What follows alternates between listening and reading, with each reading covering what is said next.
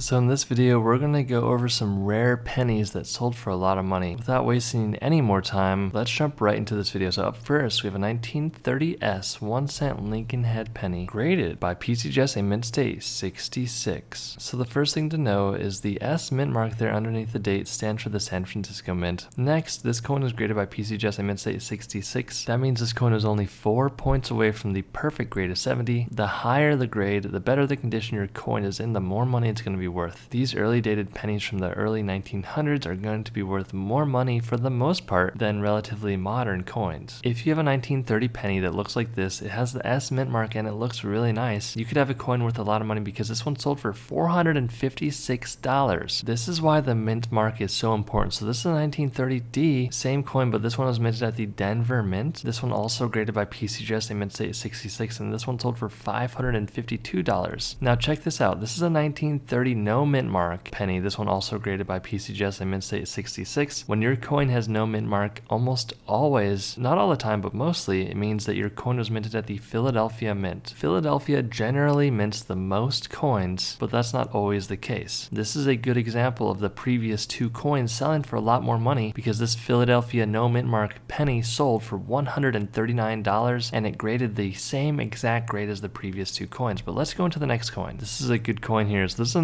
1909S 1 cent VDB. This one graded at a VF30, that means very fine. This coin sold for $840. Now, the front of this coin, as you can see by the grading label there, it said the obverse was tooled. That means that there is some sort of damage occurring on the front of the coin. The obverse means the front. If this coin did not have this obverse that was tooled, it would have sold for a lot more money than $840. Here's a 1971S 1 cent double die obverse coin graded by NGC, a proof 69. That's only one point away from the perfect grade of 70. Now, this type of coin, like I said, it's a proof coin. That means you'll generally find these coins in collections. How do you know if you have a proof coin? You can tell the coin's going to be a lot more shiny and lustrous. It's almost going to have a mirror appearance to it. When you look into the coin, you'll be able to see a good amount of your reflection, and you'll see that S mint mark there underneath the date that's sent for the San Francisco Mint. Now, a lot of proof coins, I would say nearly all proof coins, are minted at the San Francisco Mint, and this coin sold for $3,600. Here's a pretty normal looking coin. So this is a 1914D. That D mint mark again stands for the Denver Mint. One cent penny here, graded by NGC, a mint state 66. And because this coin graded so highly, it's from 1914. It sold for $22,200. Hit that subscribe button. It really does help out with the YouTube algorithm. Stay tuned for more, and I'll see you in the next video.